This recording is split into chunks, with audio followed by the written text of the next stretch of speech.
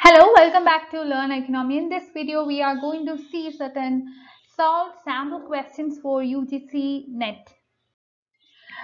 Coming to the first question, the degree of price control is very large in which of the following market structures? We have imperfect competition, perfect competition, monopoly and both A and B in the options. The correct choice is monopoly. You know that monopoly is a market structure where there is a single seller. So as a result, we can see that uh, this person, the single seller will be having the entire market power with him and the consumers uh, who will be coming to purchase the goods uh, offered for sale do not have any alternative but uh, they must pay the price set by the seller. So here the answer is monopoly. Second question, the offer curve developed by Marshall explains what? Whether it is terms of trade or equilibrium price ratio or exchange rate or satisfaction level. We have to understand that offer curve is a concept that is mainly seen in the arena of uh, international economics and this is with respect to terms of trade. An offer curve shows how the volumes traded change when the terms of trade or when the terms changes. Capital that is consumed during production process is known as is it capital loss, is it production cost or is that deadweight loss or what about depreciation? The correct answer is depreciation. We know that depreciation is a phenomenon which happens uh, in the production process. This involves wear and tear of machinery etc. So depreciation is a gradual decrease in the economic value of the capital stock of firm or it can be uh, not uh, uh, in the case of a nation or it can be in the case of some other entities which involves in the production process. So uh, we have to uh, understand that the capital that is consumed during production process is known as depreciation. Okay. Coming to uh, the next question, we have three concepts here, liquidity adjustment facility, devaluation of currency and open market operation. The question is which among the follow, which among the given uh, uh, concepts are considered to be fiscal measures? The answer is only two. That is devaluation of currency is a fiscal measures whereas the liquidity adjustment facility or open market operations are not coming under fiscal measures.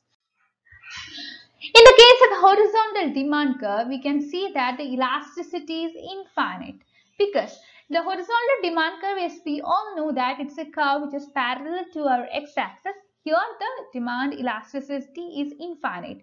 On the other hand, in the case of a vertical demand curve, where the demand curve is parallel to your y-axis, in this case, I mean in the case of a vertical demand curve, the uh, elasticity would be zero. Coming to the next question, uh, uh, this is also concerned with respect to market structure just come to the case of perfect competition, uh, that too in the product market. Uh, in the perfect competition in the product market, uh, which all uh, given below is true. Whether MRP would become equal to VMP or MRP would be greater than VMP or VMP is greater than MRP or none of the above. Here you have to focus on the type of market given there. It is perfect competition that too not in the goods market. Here it is given product market. Product uh, uh, sorry not not with respect to the factor market. Here it is given product market. Product market means goods market. Okay. Under conditions of perfect competition. We know the assumptions of, we have seen the assumptions of perfect competition right? There would be large number of buyers and sellers. The product sold will be homogeneous. So just revise the assumptions of perfect competition there and just apply the assumptions of perfect competition in the given options and you will be able to pick up the right answer. Here uh, the right answer is MRP is equal to VMP. Under the assumption of perfect competition, a firm employs a factor up to a point uh, where the price of the factor is just equals to the marginal product of that factor. For example, in the case of labor, you will employ labor till a point where the price of labor that is wage equals the marginal product or the marginal productivity of that labor. Uh, now coming to uh, the next question the demand curve uh, with respect to demand curve here the question is if the demand for a good is inelastic increase in price will cause total expenditure of consumers whether to increase or decrease or remain the same or become zero.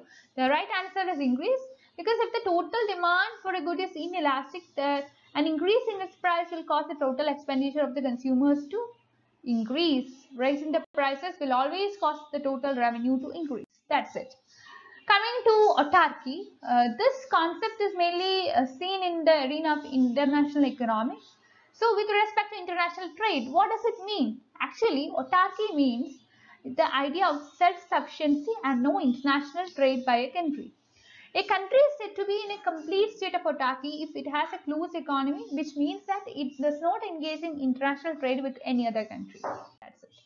Coming to plan curves. So what are plan curves? Uh, you might be knowing or you are familiar with all the forms of curves, uh, which uh, among that we know that uh, cost curve play a very important role. Cost curves are very important, especially when you come to the arena of microeconomics. So, what does plan curve mean? Plan curves are short and average cost curves.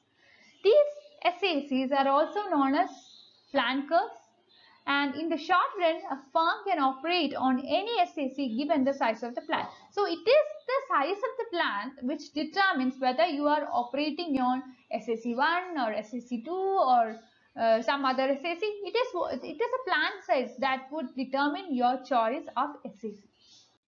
Coming to another question on elasticity. If elasticity is low, what would be the type of commodity? Whether it is a luxury or whether it is a necessity or whether it doesn't have any importance in the total budget or whether it has some importance in the total budget, what is the correct answer? The correct answer is A and C. That means that the commodity is a necessity and it has got little importance only in the total budget.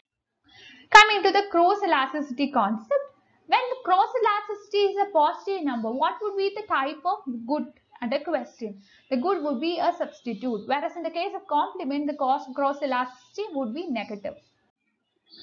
Coming to demand curve again. Demand curve, as we all know that it's a curve which is downward sloping, right? The demand curve would indicate a negative relationship between the price of a product and the quantity demanded. So, the rate question, law of demand. We know that law of demand states the relationship that to inverse relationship between the price and quantity of a commodity.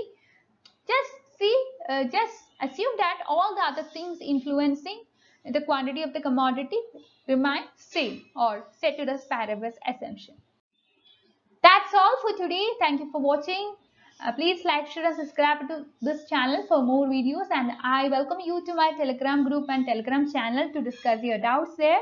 There have been a lot of members um, uh, in the group as well as in, in the channel and you can be a part of the same um, by discussing your thoughts, discussing your doubts, getting clarification, etc.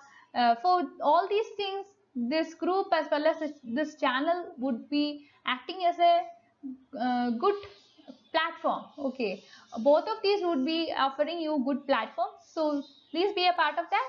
I welcome you to be there. That's it. Thank you.